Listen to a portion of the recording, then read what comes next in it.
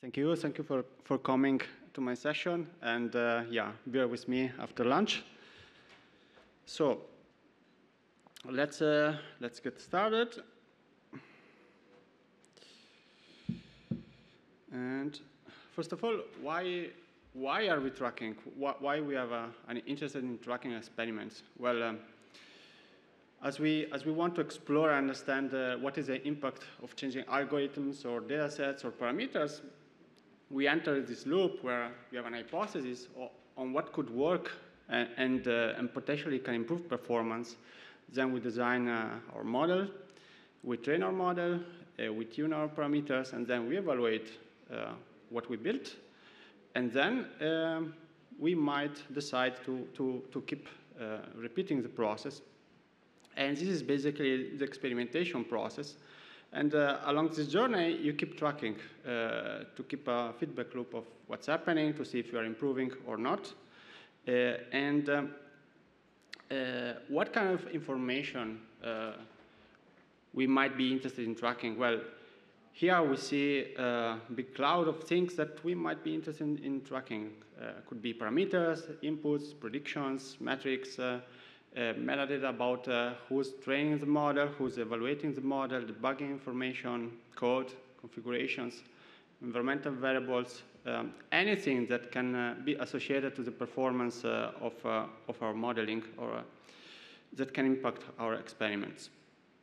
And um, so the topic of this talk is about why it is important to experiment in an efficient way. So why is it so important uh, to, to be able to experiment fast? Well, once, uh, once you are able to track um, really fast, you don't care that much anymore about performance. So you're not selecting anymore what, uh, what you might be want to track or not. You just more freely relax and start tracking more, uh, which means uh, potentially you are uh, repeating less uh, computation because uh, you might already have tracked what you were interested in, so you don't need to just run things again. And uh, this also means that uh, you can iterate faster and experiment more. So at the end of the day, if tracking uh, becomes really fast, you just tend to track more and you are more efficient. and also the, the, the experience for, for the for the developer or researcher is, is also improving. And um, let's, now, let's now have a look at uh, how can we model uh, an experiment. So what is an experiment? And uh, we will then use this framework, this, this way of representing or thinking about experiments through, through the rest of the talk. Well, an experiment, we can model it as a collection of runs, uh, where each run is an instantiation of uh, our experiment with certain inputs some parameters. Here we see, uh, we see here on the bottom side, we have, uh, for example, a train evaluation procedure where given different inputs, we get different outputs, and this would um, be, would be represented by two runs in, uh, in this model. And uh, here we see an, an, ex an, example of experiment. So let's say that we have a classification problem we try out, uh, we want to, to, evaluate or consider different classifiers and uh, dummy classifier, logistic regression, decision trees, random forest. Uh, now, we might also want to experiment with different data sets, right? And, uh, and you probably also want to, to, to see how good or how robust are uh, these models, these classifiers, uh, depending on, on the seed. So uh, so that uh, yeah, performance not just good, uh, you haven't been just lucky. So with just very, this very simple setup, we get to, to more than 100 configurations, with, which in, uh, in what we just uh, uh, saw would, would be modeled as 120 runs. And so this is, of course, a, a, very important problem, and there are very established, uh, robust solutions to, to solve this problem. Here, uh, I, I, captured uh, the last couple of days, I also updated the numbers. What is the market share of, of different uh, uh, solutions, different frameworks for uh, experiment tracking? And we see that MLflow, weights and biases capture most of the market, Then we have Comet, Neptune, AIM, and, and many others that, I mean, things here don't add up to 100 because I, I it a bit uh, up. Uh, but overall, uh, these are the main players, and yeah, MLflow, weights and biases are, are basically the, the, two most important ones. The others are, are, basically have a very marginal market share.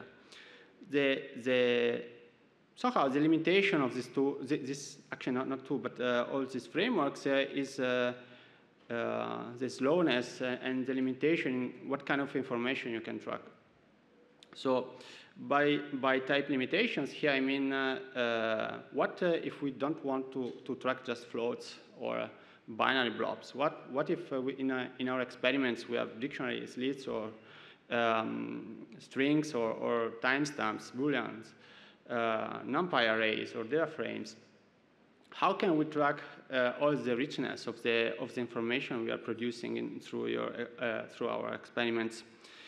Uh, and uh, this is what, uh, what triggered the, um, what, what, inspired and, and triggered the, the, creation of the, this new framework for experiment tracking, MLtraq which uh, I invite you to try and, and, give it a try and, and see if it, it, might be a good fit for, for your experiments as well. And, uh, and uh, I, I will now show you a little example of, uh, of how MLtraq works. And this, this, is, this is basically also how all the others, uh, um, how you can interact with all the other uh, frameworks we saw before. So more or less, the interface might be slightly different, but uh, the steps uh, are very similar. So first of all, we create a section to, to, to wherever we want to store our track information. And in this case, uh, we, we track it in a SQLite local database, but can be anywhere. And, uh, and then once we create a session, so once we decide where we want to store our track information, we create an experiment, which we call test. Once we have our experiment, we can add runs. And in this case, uh, we just had a, a, dummy run where we set uh, an, uh, an, accuracy value to float. And uh, uh, once we are done uh, running our experiment, we might want to save the results of what we tracked. So, and, and once, once you, you, you persisted the, the tracking information, of course, uh, you might be interested in, uh, querying it, in retrieving it for, for later analysis, for comparing uh, uh experimental results uh, through different experiments and so on. And uh, yeah, um, if we store the data we tracked in, um, in a relational database like SQLite, then we can also easily query it with SQL, for example. Or if it is Postgres, it can also be used maybe by someone else in the team to, to populate a dashboard and so on. And uh, now that uh, we saw a bit uh, um, how overall, uh, how can we design experiments, which are the frameworks, uh, which, as we will see, are some of the concerns or limitations of these frameworks, we are ready to, to experiment a bit and see um, how these different frameworks perform and, uh, and what makes them uh, fast and slow, which I think uh, is very interesting. And we, will, we will look in particular at the speed of tracking floats or arrays of floats and by instrument for, for profiling. And let's get started. And we will see um, results about three categories of uh, um, what could be slow. So let's say that we want to start a new experiment and we do our tracking. So how much time does it take to start tracking actually? How much time does it take, uh, the tracking process, to, to just kick uh, to, to, just start? And uh, once we start tracking, how frequently can we track our metadata, our um, performance evaluations and metrics and so on? Of course, we want to be able to track as frequently as we want, right? And, uh, and once we can track as much as we want, uh, we, we, can we, we, we, might want to track uh, uh, also very large objects, objects so that we are not really restricted uh, in what kind of information uh, we are tracking. So ideally, we, we, start tracking really fast, we, we track as frequently as we want, and objects being tracked as large as we want. So this would be the, the ideal scenario, right? And uh, let's have a look at uh, how these different frameworks um, compare, perform, and, and, uh, and how they look like.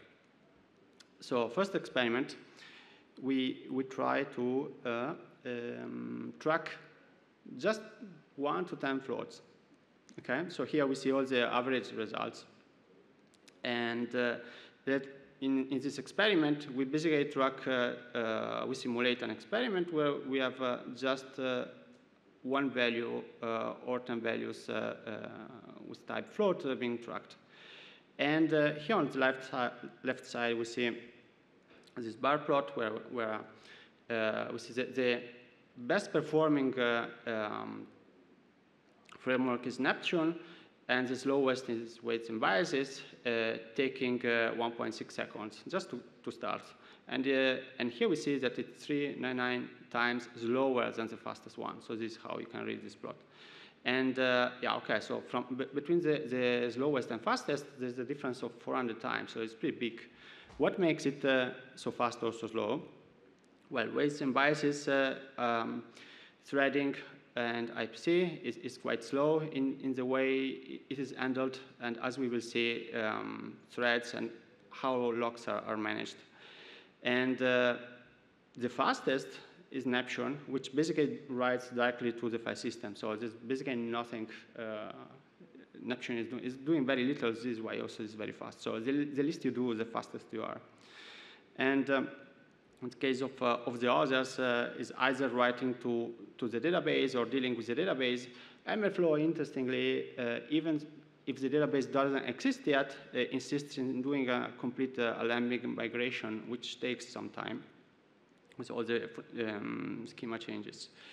And here we see uh, an example of what happens in, in um, if, we, if we inspect, we profile weights and biases, what's happening. So uh, most of the time is actually weighted in a lock, uh, and then we have uh, some tracking on the weights and biases side, and which also is taking 8% of the time. So kind of slow if you keep repeating this, this process. Let's say now that we just track one float and we, we, and we track it uh, across 100 runs. So very simple experiment. We repeat it 100 times. And, uh, and for each experiment, we just track a float. Here, things are a bit different. So MLtraq becomes faster, uh, and, and I will explain why in a second, while uh, the worst performing MLflow and, and weights and biases uh, get very, very slow, uh, so slower than linear, so it starts to be exponentially slower as we add more runs. So if, you, if you, in your experiments uh, you have a large number of runs, large number of configurations you want to test, it gets extremely slow, MLflow and weights and biases. And why is um, MLflow so slow? Well, uh, it, it depends, it relies uh, on the, what is called the entity attribute value model, where basically for uh, every time you, you track value, it, you are basically interacting and appending rows in, uh, in different tables, which is quite expensive. So if, if you do it in, uh, sorry, I think I messed up. Yeah, sorry. Uh, sorry for the interruption. So in, uh, actually in this experiment, what, uh, what we see, we increase the number of floats uh, between 100 and 100,000.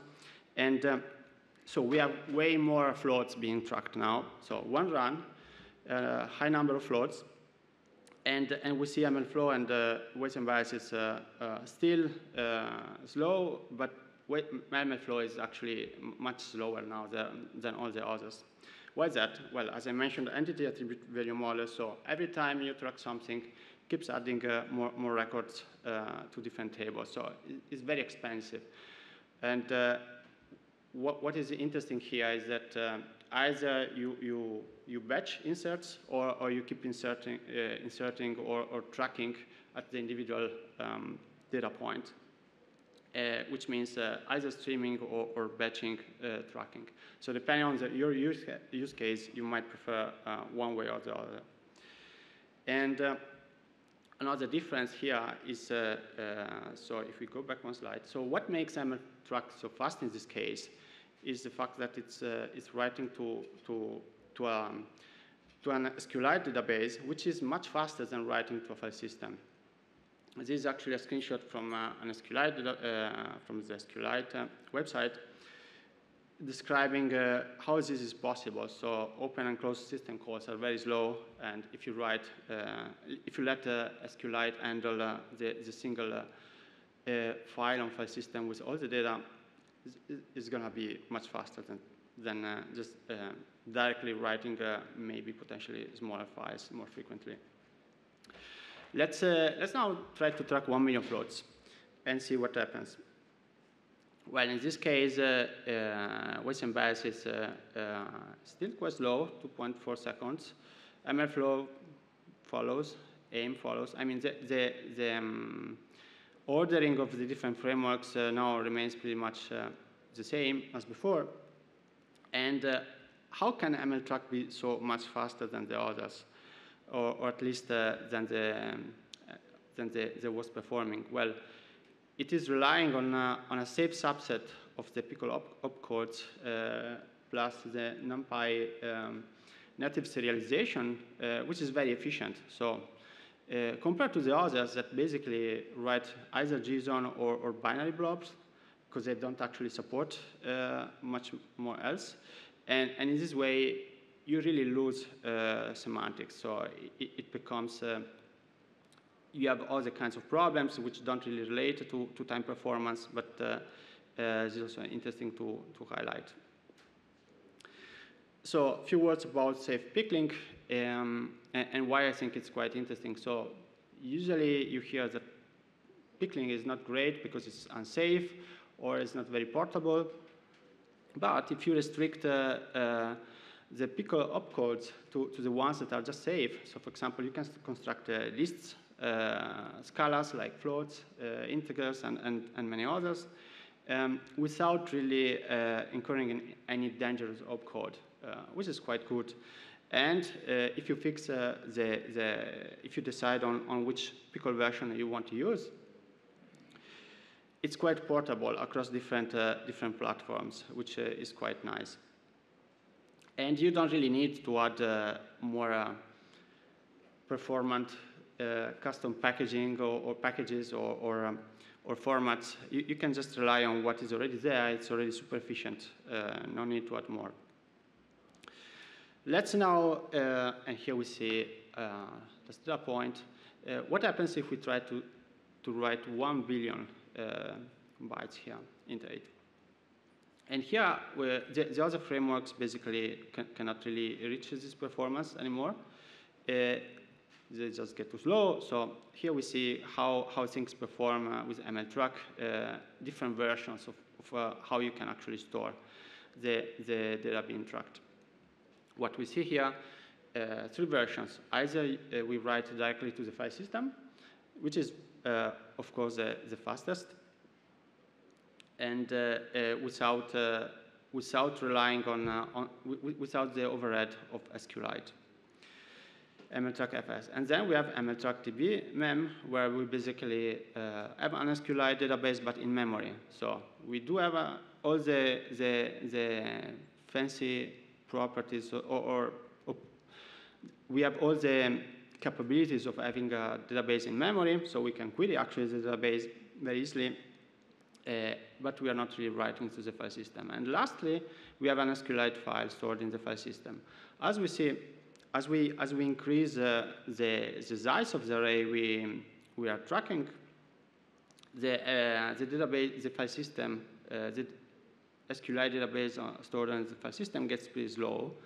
Still, uh, uh, if, instead of writing to the file system, you, you just uh, keep your database in memory, it's pretty fast. it's pretty fast SQLite.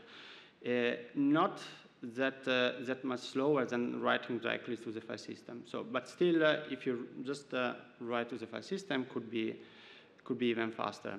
Then, of course, it depends uh, what, uh, how easy then uh, you, you want to be able to, to process and access the data you just tracked. And uh, um, yeah, so a few conclusions here. So threading uh, IPC, which one is better? It really depends on, on how you are on how you are handling uh, your um, your uh, communication, uh, either with, uh, with threading or uh, distinct processes, and how you are interacting, how you are then able to impact some, oops, sorry, it impacts how you can actually then query or, or insert the tracking information. Is it a web API like weights and biases, or you have a direct connection to a database, or you're not really relying on um, custom integrations or, or, or um, um, yeah, custom uh, integrations.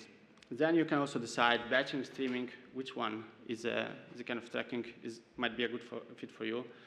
And um, as we saw, uh, native SQL types, Python types, PRO, uh, open formats are all we need to, to have very performant tracking. We don't need any more UN coding or JSON-like formats, which are kind of slow and they, they don't really much, they don't offer rich semantics on what you just tracked. And, uh, and what I showed you, so this presentation uh, uh, impacted, uh, uh, so what is the impact of this presentation or, or this study, uh, this, this project MLtraq?